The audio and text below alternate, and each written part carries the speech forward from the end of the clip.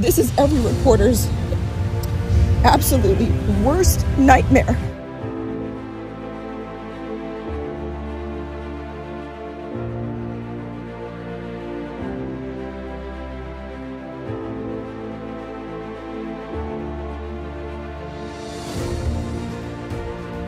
We go home at night afraid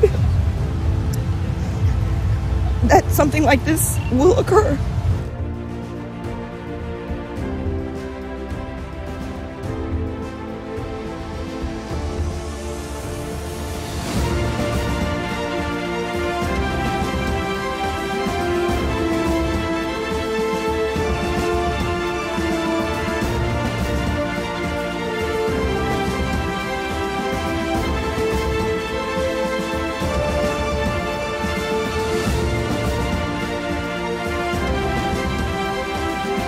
Apologize. This is really difficult uh, to cover.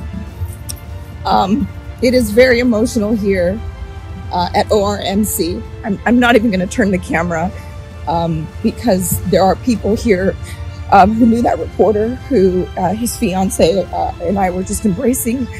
Um, but I, I, will say this it, it is nice to see all the media. We come together in solidarity in this moment.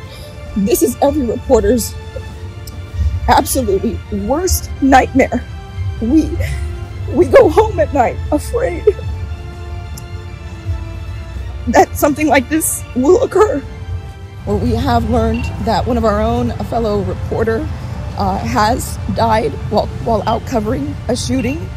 Um, there are members of his family here, along with his fiancee, um, who who are just incredibly distraught tonight.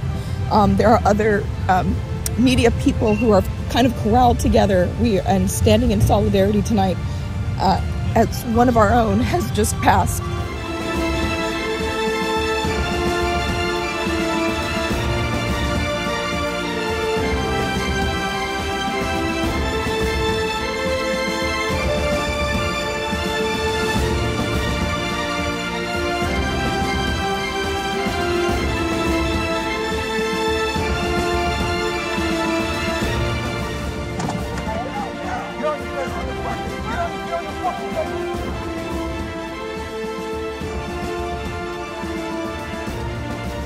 So we have detained uh, the person uh, believed to be responsible for the murder this morning as well as the shootings this afternoon. He is 19-year-old Keith Melvin Moses.